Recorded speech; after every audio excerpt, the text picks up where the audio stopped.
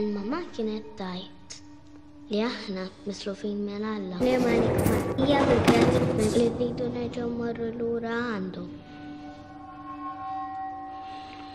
Irridu nkunu bravi, irridu nabdu.